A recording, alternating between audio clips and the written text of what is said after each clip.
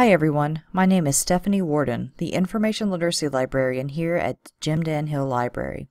In this short video, we are going to explore the components of an APA-style academic journal citation. In APA, an academic journal citation contains five pieces of information. Number one, the names of the authors. Number two, the year in which the article was published.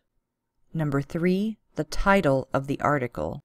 Number four, information about the journal, including the title, volume, and issue number, and the page numbers of the journal on which the article being cited appears. Number five, if the article was retrieved online, a DOI or a permanent URL. The first piece of information your readers will expect to see upon looking at your references is the name or names of the authors in the article. A few things to remember about listing the author's names. Number one, they are always listed last name first, comma, then the first initial, and, if present, the second initial. You should never insert an author's full first or middle name. Only list the last name and any initials supplied. Number two, the authors should be listed in your reference in the order in which they appear in the article. Frequently, academic articles put the most noteworthy author first to catch the attention of readers and to lend credibility to the work. They may also be arranging the names in the order of their contribution to the work. Either way, list the names in the order the authors have purposefully arranged them in. Number three, if an article has two to seven authors, use commas and an ampersand to connect them. An article containing more than seven authors will require special formatting, so you should consult the sixth edition of the Publication Manual of the American Psychological Association for more information. The next piece of information we will need to add to our citation is the year in which the work was published. This can usually be found on the front page of the article or in the article record if you are using a database to find the article. The year in which the article was published always appears in parentheses followed by a period. This formatting is particular to the date that the article was published. The next piece of information that should be included is the title of the article. There are a few things to remember about the formatting of the title of an article in the reference list.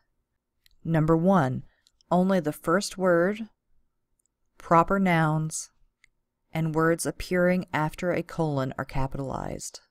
Number two, the title of the article is not underlined or italicized. It is simply written in plain text. Number three, after the title, you should add a period to separate this piece of information from the next piece of information.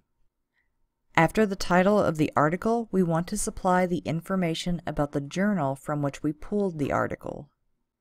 When supplying information about the journal, remember, number one, the journal title should be written in title case. Each word, except for prepositions, should be capitalized. Number two, the title of the journal should be italicized. Number three, after the title of the journal, use a comma.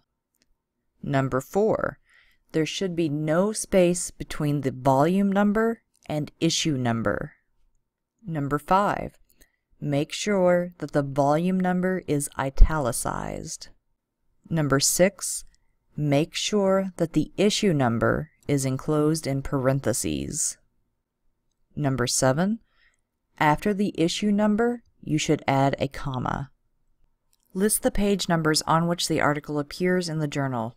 Do this by putting in the first number dash last number. If the article has no page numbers because it was only released electronically, then omit the page numbers. Number 9. End the information about the journal with a period after the last page number. Finally, for articles retrieved online, we will need to supply either a DOI or a URL. If the article has been assigned a DOI, it will be listed with the record information in the database the article was retrieved from. Copy this number and paste it prefaced by the letters DOI colon. Note that DOI colon is lowercase. If an article does not have a DOI assigned, you will need to obtain a permanent link to the article. If you are using a library tool such as EBSCOhost, you will need to use the permalink button under the tools bar to generate a permanent link your readers can access later. Note, you should very rarely use the URL in the address bar when using library databases. These links are temporary and frequently cannot be used off campus anyway.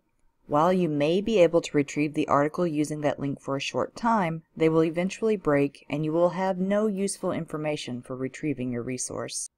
Write the words retrieved from and then paste the permalink. Retrieved should be capitalized and from should be lowercase. Do not add a period at the end of your citation. This can cause the DOI or URL to malfunction. Once you have strung those elements together and applied a hanging indent, you should have a complete academic journal reference for your project. If you have any questions about creating an academic journal article citation or using library resources to gather DOIs or permanent links, please let us know. You can contact us by using the Ask a Librarian link at the top of the homepage or by emailing us at askref at uwsuper.edu.